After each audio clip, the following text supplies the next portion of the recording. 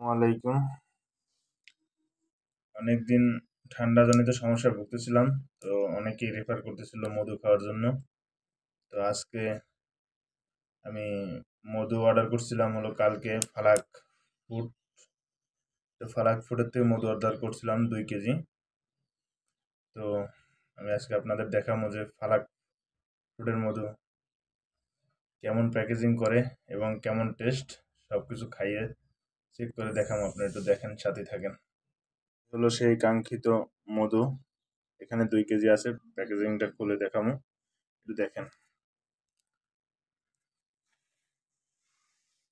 ওদের প্যাকেজিং স্টাইলটা খুব আমার ভালো লাগছে, আমি নিজেও একজন অনলাইন ব্যবসায়ী, তো ভালো লাগছে, তার জন্যই আসলে প্যাকেজিংটা দেখা ওরে বাপরে বাপ, সেরকম আকারে প্যাকেট করছে। লাস্টে মূল্যটা বলব। বাপ রে বাপ। কমসে কম বাবল রেপার ব্যবহার করছে একশো টাকা। আবার ডেলিভারি চার্জ তাও বলে ফ্রি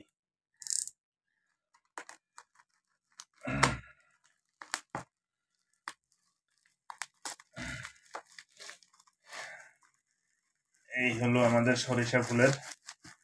সেই কাঙ্ক্ষিত মধু এক লিটার।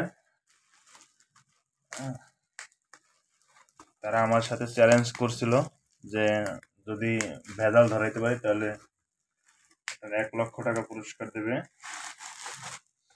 আমি আসলে আজকে আপনাদের চেক করে দেখামো যে মধুটা আসলে অরিজিনাল কিনা ভেজাল।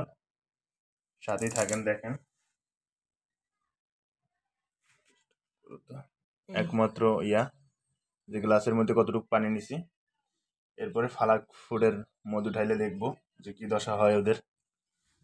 অবশ্য এক লাখ টাকা বাজি সাথেই থাকেন সবাই। এই যে আপনারা যে কোনো একটা, ধরেন হলো, আমি দশ পর্যন্ত গুণি এর ভিতরে যেটা পড়ে, এটা থেকে খুলবো। এক, দুই, তিন, চার, পাঁচ, ছয়, সাত, আট, নয়, দশ। যাক, যেহেতু দশ নম্বর এটা পড়ছে, তাহলে এটা থেকেই খুলে দেখি এক লক্ষ টাকা পুরস্কারটা পাওয়া যায় কিনা। অবশ্য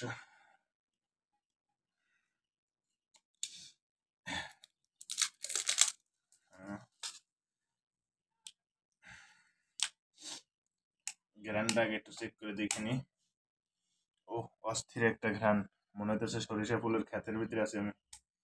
ভালো লাগছে খুবই। যে কতটুকু মধু এর ভিতরে আগে ঢাইলে দেখি যে কি দশাটা হয় এখন।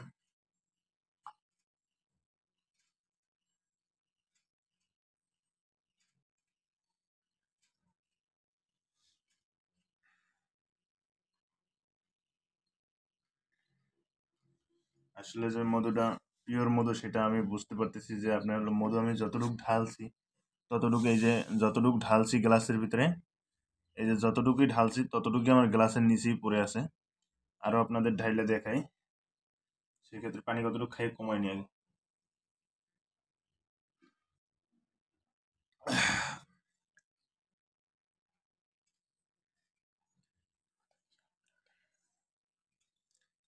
এই মধুটা যদি রিয়েল না হতো, তাহলে মধু অবশ্যই ইয়ে হয়ে যেত। কিন্তু মধুটা আসলে রিয়েল আছে বোঝা গেছে। ইনশাল্লাহ ধন্যবাদ। ফালাক ফালাক ফুড আমাদের এত সুন্দর একটা প্রোডাক্ট দেওয়ার জন্য ধন্যবাদ। ইনশাল্লাহ সবাই সাথে থাকবেন ফালাকপুরের অবশ্যই শুভকামনা রইল ফালাক ফুডের জন্য।